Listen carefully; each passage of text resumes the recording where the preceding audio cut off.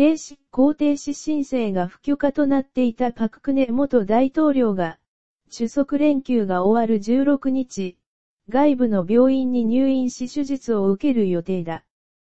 法務部は11日、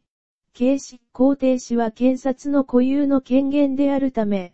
法務部が口を出せる事案ではないとしながらも、僕元大統領の手術と治療のため、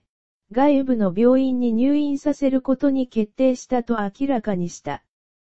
検察が僕元大統領側の刑執行停止申請を不許可にしてから2日ぶりのことだ。僕元大統領が収監されているソウルコーチところは、コーチところ所属の医療スタッフの診療や外部医師の招聘診療、外部病院の診療などを通じて、僕元大統領の治療に最善を尽くしたが、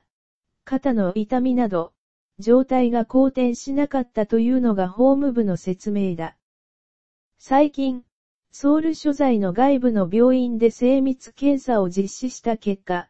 左肩の部位に手術が必要だという専門医の所見と、僕元大統領の意思を考慮して法務部は中足連休翌日の16日、僕元大統領を外部の病院に入院させるとの結論を下した。